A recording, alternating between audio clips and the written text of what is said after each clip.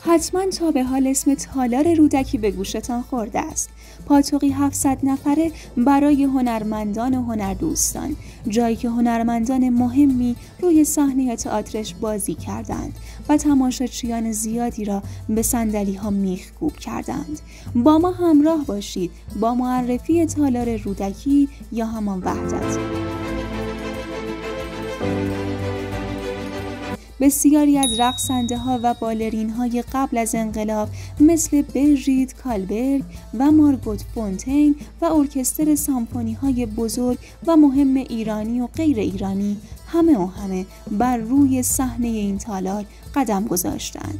از مرزیه و استاد بنان گرفته تا استاد شجریان، سیمین قانم، بهرام بیزایی، استاد گلپایگانی، فاخر سبا از هنرمندانی هستند که در تالار رودکی اجرا داشتند.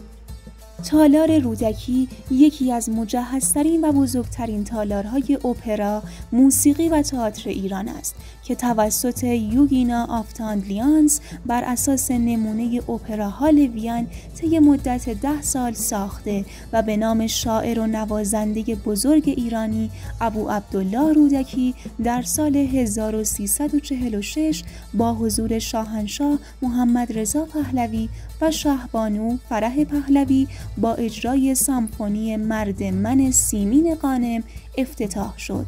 تالار رودکی در خیابان استاد شهریار دکتر عرفه سابق قرار دارد. ساختمان رودکی متشکل از دو سالن اجرا به نامهای تالار رودکی و سالن کوچک است.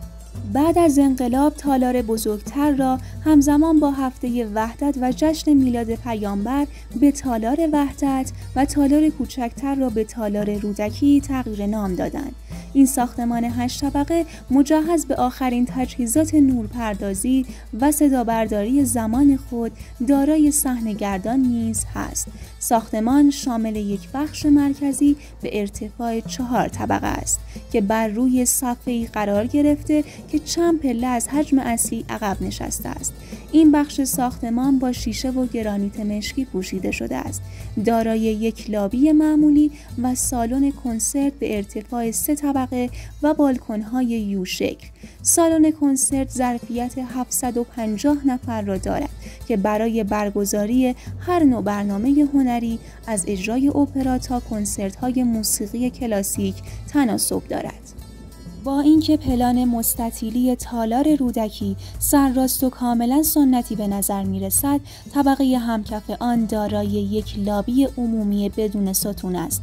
ده تاق نمای آن به عنوان یکی از مهمترین مشخصه های آن بیشتر در اذهان می ماند این تاق نماها از کف تا سقف با دیوار شیشه‌ای نورگیری می کنند و افراد را از همان بیرون به فضای درون لابی وصل می کند.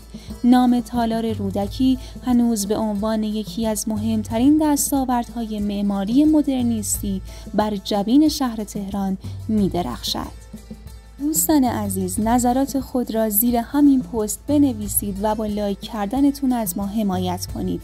اگر علاقه مند به تاریخ و بناهای معماری ایران هستید کانال ما را subscribe کنید و زنگوله را بزنید. تا هر زمان ویدیو گذاشتیم ببینید و لذت ببرید. ممنون که تا انتها همراه ما بودید.